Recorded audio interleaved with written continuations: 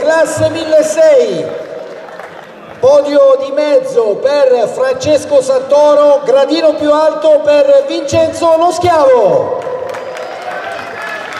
Applauso per